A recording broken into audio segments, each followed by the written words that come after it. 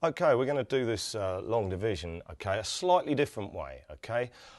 Because we're in the hundreds, I'm going to do the 400 times table, I'm going to do the 40 times table, I'm going to do the 4 times table. I'm going to list them out, okay? So I've got 400, then 800. Now, because 800's bigger than the number I'm dividing, I'm going to stop there. With my 40 times table, I'm going to do 40, 80, 120, 160 and 200. Okay. I'm going to stop there. I can do some more if I need them.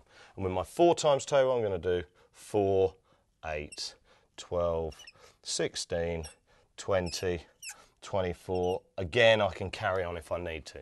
Now, I'm also going to have a running total over here. Okay. So, if I look at 400, go up to 400, 800's too big. I'm going to underline that, and I'm going to take the 400 away from this, which leaves me with 184. I'm going to cross that out because I don't need to think about that anymore. The ultimate aim is to get down to zero.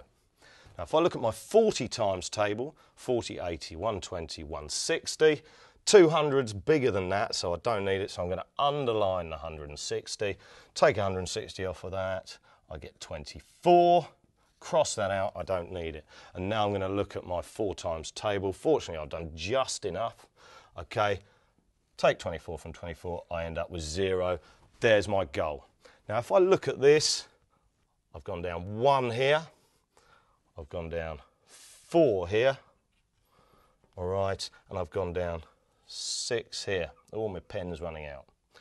Okay, and so my answer ultimately is going to be one four, six.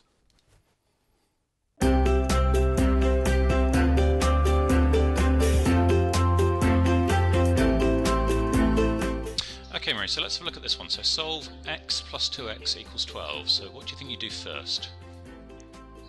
Okay, well, I want x on its own, so I would put x equals 12 minus 2x. Okay, so a lot of the time we want to get x by itself, but what we want to do first is get all of these x's together. So can you see anything we can do with this? Get all these together in one place. Oh, okay, it's 3x, isn't it? Yeah, so absolutely. 3x equals 12. Oh, and so x equals 4. Brilliant, spot on, well done.